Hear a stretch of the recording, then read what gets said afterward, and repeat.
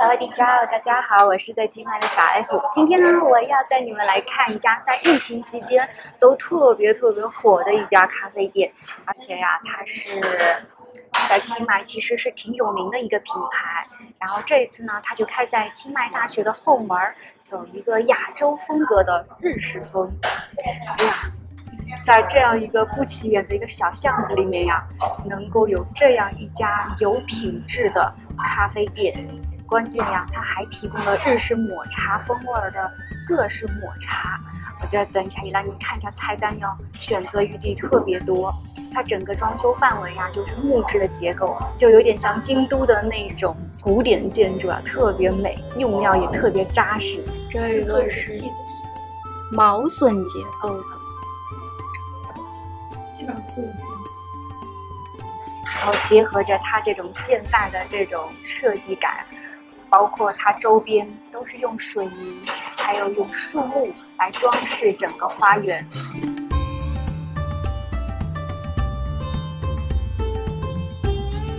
入场前呢，就是必须要买一张八十泰铢的一个入门券。那你可以用这个入门券呢来兑换这个咖啡或者饮料或者蛋糕。嗯，我觉得这个也是挺有意思的。这一家网红店呀，真的是在 Facebook 上特别特别的火，好多好多泰国人都是慕名而来，特别是年轻人。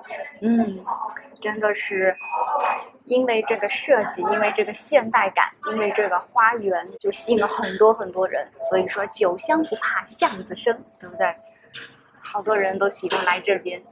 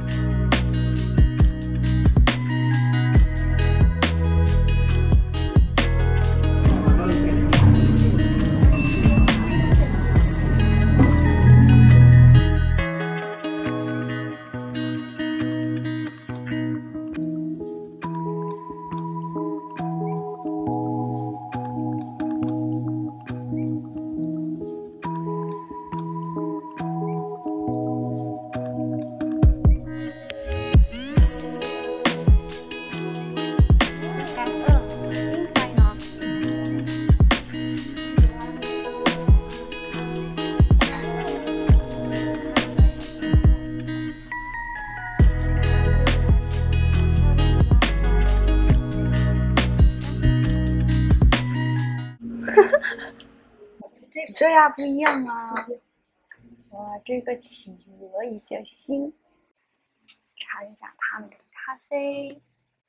然后刚刚呢，他们推荐了我是用重烘焙的豆子来做这杯拿铁，我也品尝一下重烘焙的。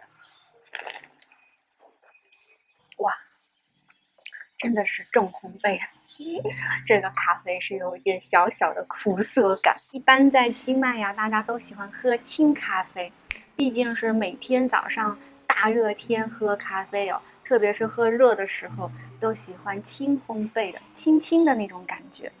我我不知道为什么他推荐我重烘焙的，是不是要让我感受一下这个咖啡的那个浓郁度哦？或者是他们重烘焙的豆子卖不出去了，推荐了阿布，你的是哪个？我的中烘焙的。你也是中烘焙的。我烘焙的，然后，因为我那个买的那个咖啡豆磨的那全都是重烘焙。是啊，可习惯了。是，是好听。